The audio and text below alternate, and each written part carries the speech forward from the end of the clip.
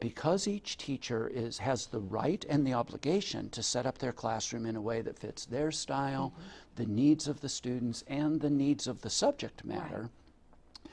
we have to get teachers to recognize you have to teach kids how to function here in this unique room 19. Yes. Because no matter how much we do with school-wide stuff, room 19 is going to be unique.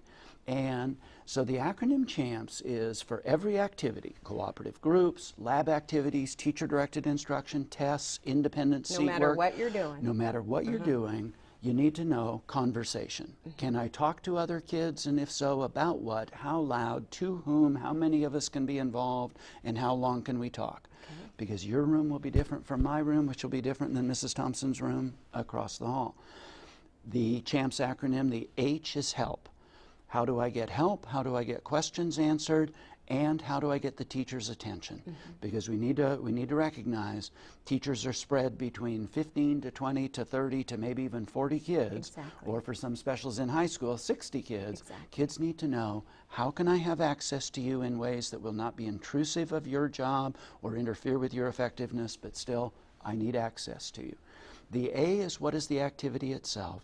The M is movement. Mm -hmm. Can I get out of my seat? Can I get a drink of water? Can I sharpen my pencil? Can I hand something in? Can I get those materials? And do I need your permission to do so or not? Right. And the P is the most important part of the acronym, it's participation. Mm -hmm.